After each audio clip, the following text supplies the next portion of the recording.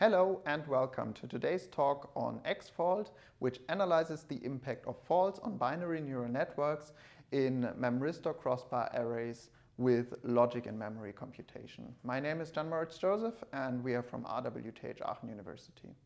So first let's take a look at the outline of today's talk. I'm going to first start to introduce the background on neuromorphic computing for AI technologies, um, focusing on processing in memory and then also on giving you insight on what is this logic in memory technology. Then um, XFault is a simulation methodology, so I'm going to show you how we do this, and then also explain our fault model and um, the KPI measurements, how we understand faults and how BNNs are affected by that.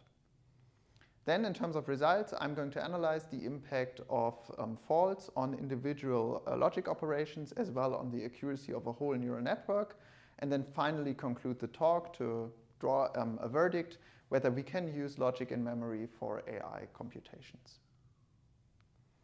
So let's start with the background first. So as you all know, today's um, architectures are mainly built as von Neumann architectures where you have separated memory and processing capabilities.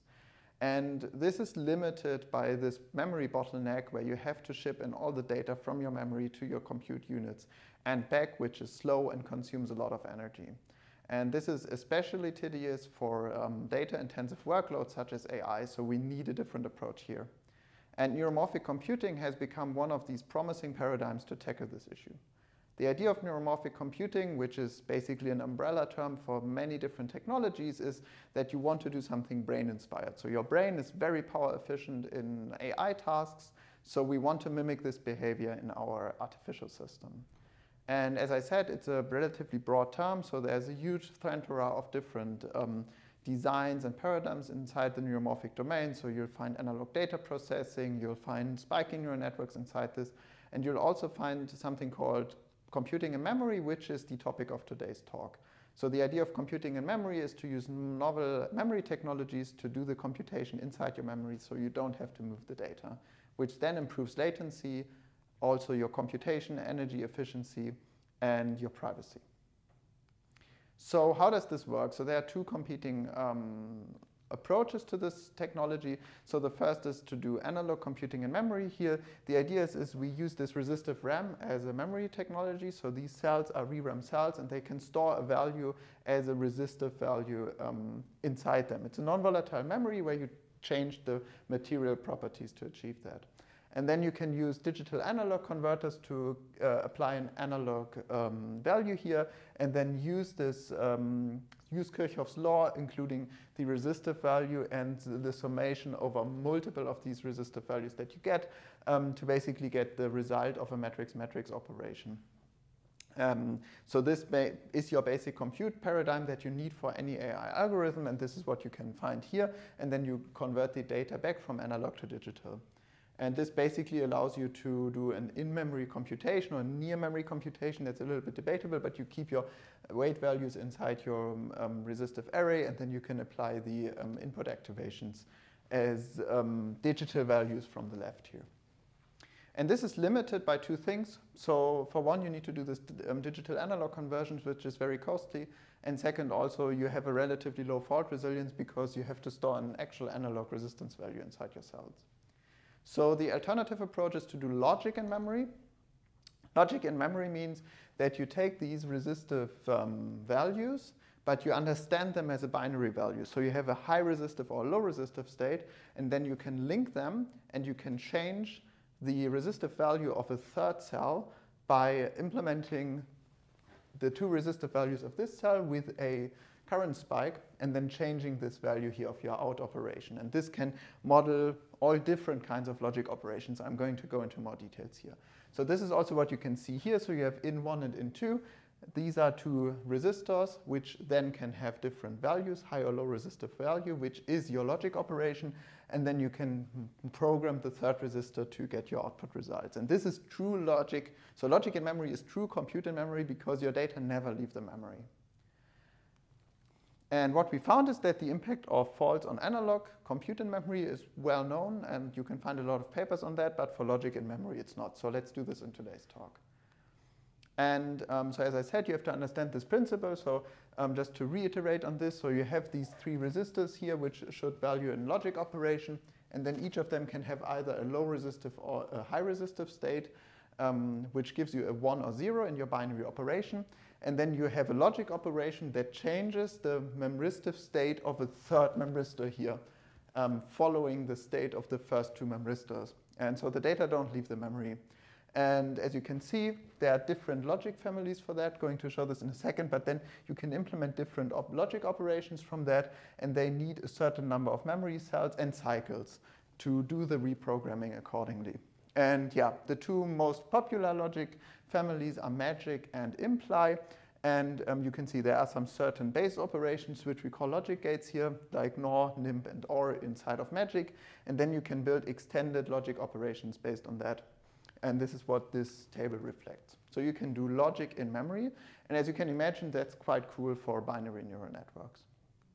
So yeah, we wanted to understand what is the impact of faults inside these kind of um, systems if you use them for a binary neural network. And this is what XFault does for you. So XFault is an end-to-end -end workflow that starts from any BNN model that we model in TensorFlow using the Larq uh, library. And then we extract the XNOR operations. So the XNOR operations are your basic matrix matrix compute operations inside a binary neural network. So you extract them and um, we run them on a mapped crossbar, simulated crossbar setup. And all the remaining commands are executed natively in TensorFlow. And then we have a crossbar emulator that can emulate different fault models. And this is also what you can see here. So you start with your binary neural network inside Larq and TensorFlow. You bring it into our mapping tool where we map the operations onto individual um, crossbar arrays. Then we have a simulation setup that simulates the whole architecture, including multiple crossbar arrays. And then inside each individual crossbar array, certain um, resistors will have faults inside them, and then we can evaluate the impact on the system. And this is what you also can see here now. These are the different faults that we model inside the crossbar. So we have five fault models here a stuck-at fault, which is basically that a cell is stuck at a certain high or low resistive value. Then a read destructive fault, where the state is um, altered during read operation to get a false um, result. Then a deceptive read destructive fault, which also alters the state, but you can't see it. Then an incorrect read fault, where the correct um, state is inside the cell, but you um, see the wrong, the wrong value. And then a slow write fault, um, where the value is not changed inside your uh, cell um, in the appropriate amount of time. And so we want to analyze these five faults for binary neural networks inside um, logic in memory crossbars. And for this, we developed two simple KPI measurements to understand the impact of um, faults or for the whole logic operation. So we uh, defined quality of logic and impact of faults. So the idea of these two metrics is so basically that you can assess for these fault types how high is your quality of logic. Does the logic operation restrain to the um, actual operation it should have? And then also, if you want to know which faults are especially dangerous, we have this impact of fault metric, which then measures the impact of one individual fault on um, all different logic operations. And we summarize this in this logic gate reliability chart here. So um, we simulated logic gates versus injected faulty behavior. So basically we took all different binary values that you can have for all of these operations, then mapped them to every possible memristor configuration that you can do physically, and then averaged over the results. We injected individual faults in each of the memristors, and then took a look at what happens. And um, yeah, so basically we execute single operations here, and then you can see for imply and magic different results. And um, yeah, what are the key take-home messages here? So for one, the logic families differ um, in their resilience versus faults. And um, you can, for instance, see this just in the quality of logic results here at the bottom, which are different.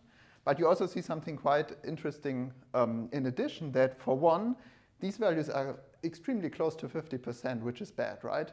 Um, that gets quite close to flipping a coin. So that's, that doesn't look good. So let's see what this um, does with the overall um, accuracy of your neural network. And then you can also see that certain logic operations with certain errors basically completely break the system because you have super high faults above 50%. Um, and then also, um, yeah, you can see that at least the XNOR operation has a relatively low fault um, um, rate here, so acceptable resilience, but anyways, the numbers are quite high, so it doesn't look good for logic in memory for BNNs. And to understand that, we of course then took a look at overall benchmarks, and we took a super simple benchmark and it already didn't look good. So we, we didn't need to do like this very in-depth analysis, unfortunately, so we just took MNIST, which is, I know it's an old system, but it is so simple that even in this case, if it doesn't work, then logic in memory for BNNs currently at the current state of technology doesn't look so good. So we took this MNIST example from the Larq um, example library and used it for imply and magic with different faults. And then let's just take a look at the average. So um, we uh, increase the injection rate, how often faults um, occur, and then on the y-axis here you have the accuracy of your network. And okay, binary neural networks, they don't do too well, right? They are just starting at 75, 80% accuracy here at the beginning, so that's not super high. But then even for very low injection rate of faults, it directly drops below 50%. So here you can see with a few percent of injection rate, we are at 30, 35%. Here it looks a little bit better, but still same tendency. And then after 5%, all hell breaks loose. Um, we just have an abysmal low injection rate, uh, accuracy for the um, higher injection rate of faults. Um, to summarize, there's a dramatic accuracy loss, and that's a problem that has not been solved so far. So to summarize, we presented XFault, this end-to-end -end simulation framework to understand logic in memory operations for BNNs and whether they work in neuromorphic computing. And um, yeah, to summarize this talk, th they really don't. So our results indicate that the accuracy drops dramatically for BNNs and um, is reduced to below 20% quite fast. And um, therefore, we think that further investigations are needed to improve the resilience of logic in memory for neuromorphic computing.